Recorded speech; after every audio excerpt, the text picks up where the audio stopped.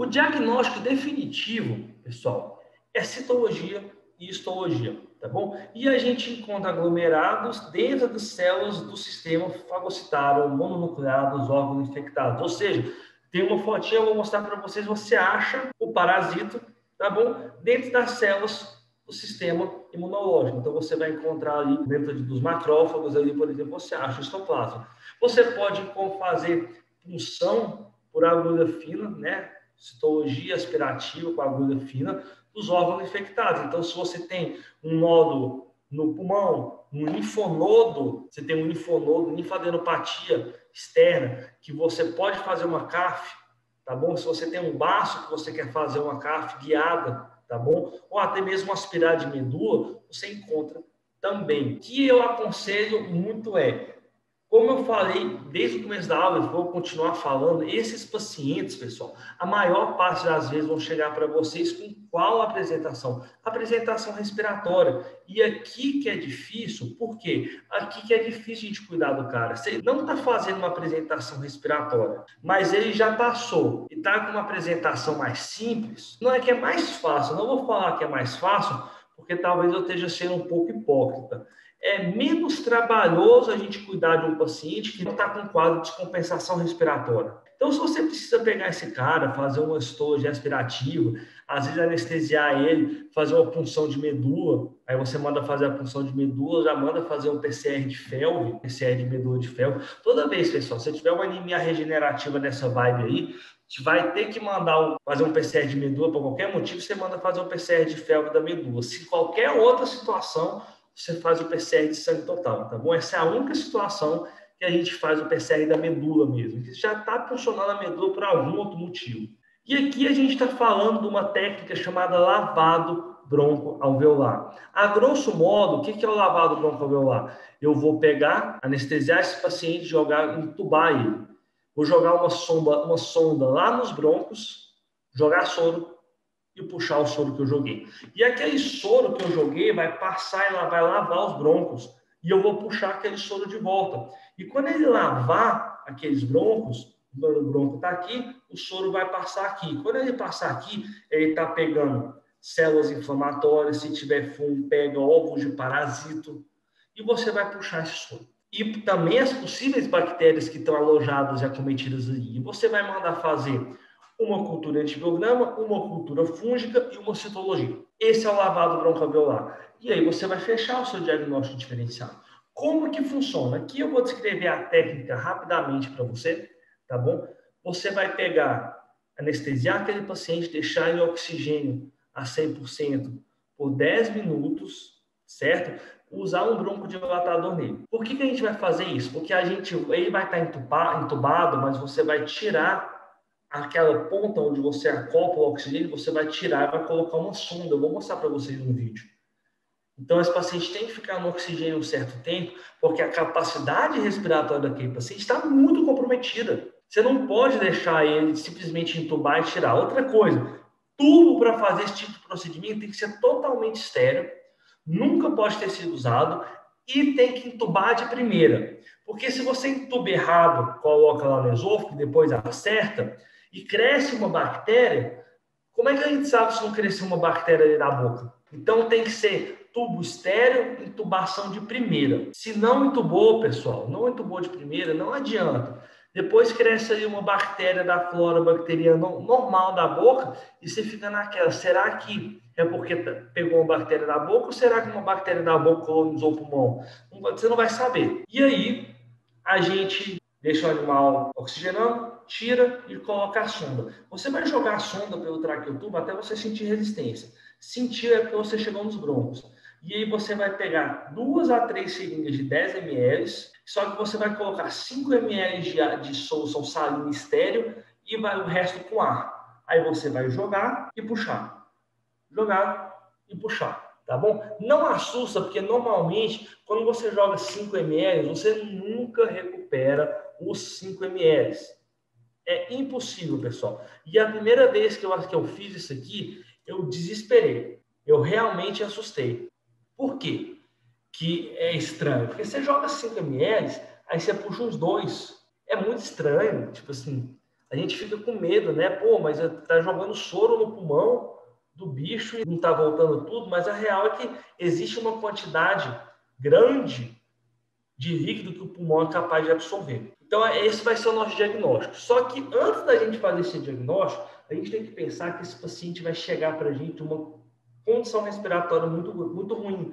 Então, a gente tem que cuidar desse paciente, tanto na emergência, quando ele chegar, e depois a gente tem que cuidar dele depois que você estiver fazendo esse, esse protocolo, porque ele vai estar com dispneia. Então, a gente tem que tranquilizar ele para diminuir a ansiedade, para não aumentar a, capa, a necessidade de oxigênio dele. Então, eu utilizo muito butorfanol. A gente tem que oxigenar, hidratar, alimentar esse paciente, tá bom? Isso aqui tudo entra no tratamento. E a gente usa prednisolona 1 miligrama por quilo nos primeiros momentos para desinflamar. Isso aqui você já chegou no diagnóstico que é histoplasmose, você vai entrar com prednisolona, tá bom? Antes de saber o que é, você não entra. Como que eu gosto de estabilizar o paciente? A gente tem uma live que é uma aula que a gente fala só exclusivamente sobre as técnicas e as práticas de estabilização, tá bom? E, cara, são muitas drogas, eu vou falar aqui para vocês o Coringa. Você vai usar 0,01 miligramas por quilo de acepromazina e vai associar com 0,1 miligramas por quilo de metadona.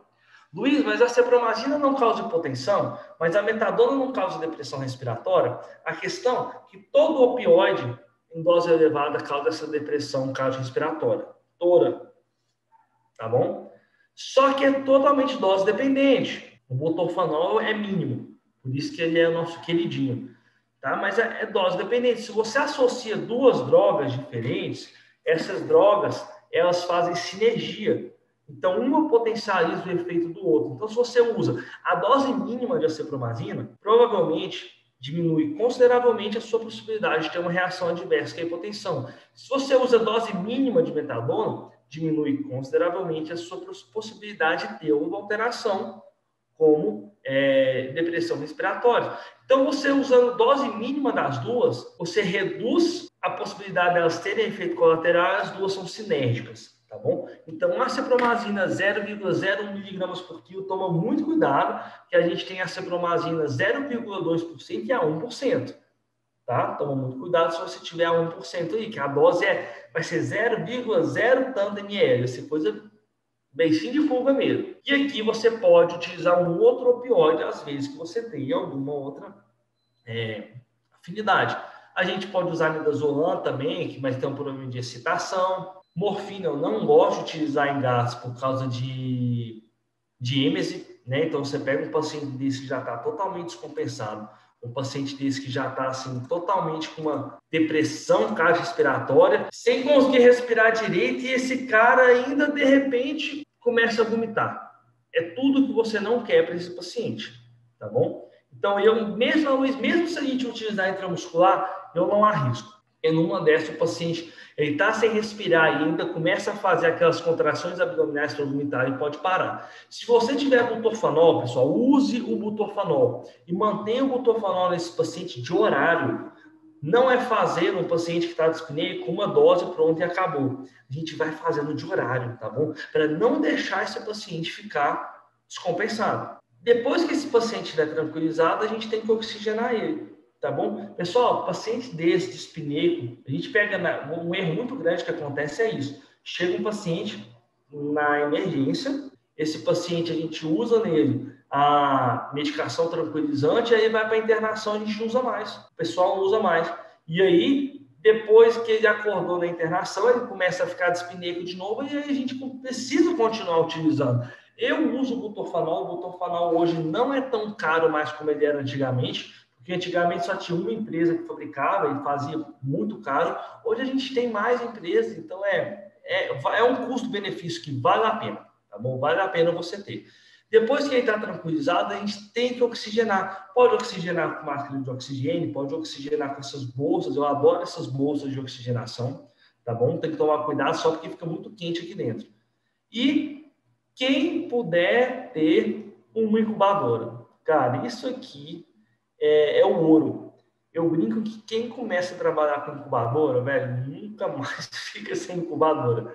É muito bom, isso aqui é sensacional. E aí a gente vai fazer o tratamento correto. Então a gente passou por alguns passos, né? Primeiro esse paciente chegou na emergência e aí esse paciente tranquilizou ele, estabilizou ele na emergência. Descobriu que ele estava com uma pneumonia, tem que fazer o diagnóstico diferencial. A gente fez o, o lavado broncoalveolar. Qual que é o grande problema do lavado broncoalveolar que eu já quero falar para vocês? E para mim aqui é a parte mais importante. Se você puder levar uma única informação dessa aula, eu gostaria que você levasse essa informação.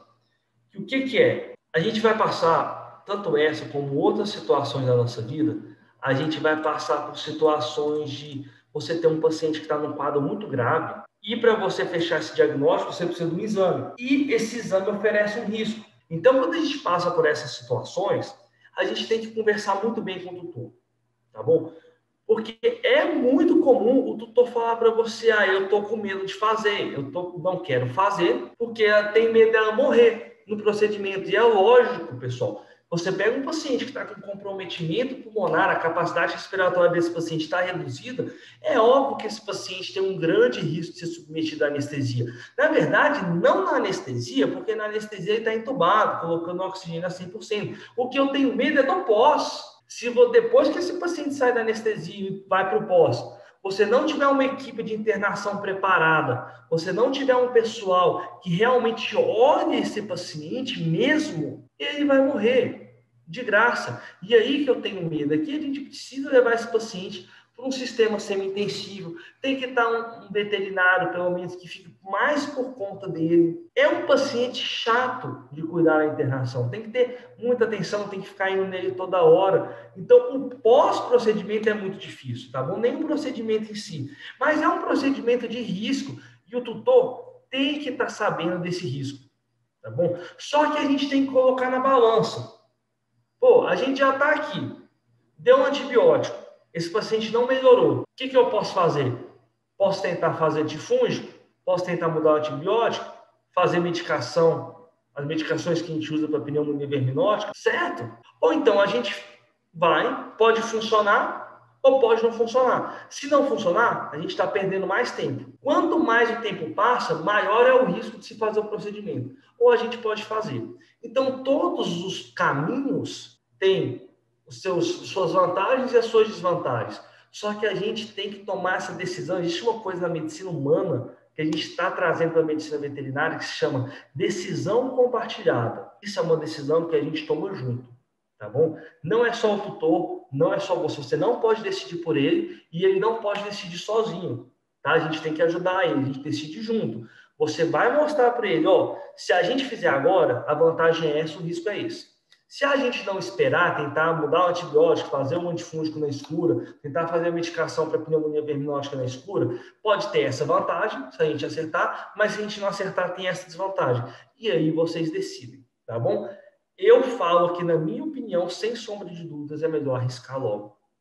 Porque processo pulmonar vai só piorando, piorando, piorando. E a gente vai usando muito antibiótico, criando resistência antimicrobiana e entrar com antifúngico, pessoal. Ainda mais uma situação dessa, que tratamento é de seis meses a um ano, não é você entrar com água benta, que você vai dar água benta por seis meses, não. É entrar com anazol que você dá por seis meses. Então, vamos lá. Aí você fechou, fechou o diagnóstico. Agora, depois de tudo isso que eu falei, a gente chegou no diagnóstico, fechou o diagnóstico, e o diagnóstico é que deu histoplasmose. Como que a gente vai tratar esse paciente? Itraconazol 100 mg por quilo CID. A gente sempre tem que acompanhar esse paciente com bilirrubina para ver se você não está tendo um comprometimento hepático. Luiz, isso eu não acompanho com TGP, por exemplo. Cara, o TGP, ele aumenta bem depois da bilirrubina. A bilirrubina é a primeira enzima hepática que vai aumentar. Então, a gente aumenta, acompanha com a bilirrubina, tá bom? Tratamento vem de seis meses, mas pode chegar até um ano bom? A gente vai ter que acompanhar esse paciente. Associar a anfotericina B, tá bom, pessoal? É recomendado já que todo caso, histoplasmose respiratória já é considerado um caso grave. Porque o que, que acontece? Tem um pessoal que fala que usa anfo-B só em casos graves. Só que tem outro grupo que fala que todo caso de histoplasmose respiratória é grave, já sendo recomendado direto a anfo-B.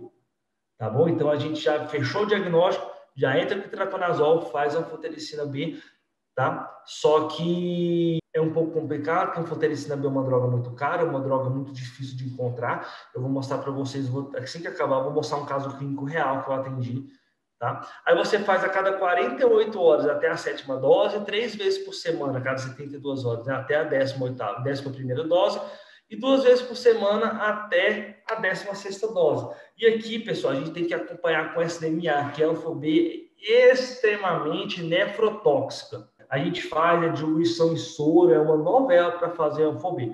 Mas é recomendado, como eu falei para vocês, em casos graves ou não responsivos, embora muitos autores já consideram qualquer caso de histoplasmose grave. Ou seja, fechou histoplasmose, já começar com itraconazol e fazer todas essas doses até a décima semana de anfotericina B. E olha o tanto que é difícil, tem que acompanhar o fígado, tem que acompanhar o rim, tá bom? Então você percebe que o próprio tratamento não é fácil. O prognóstico varia bastante, tá bom?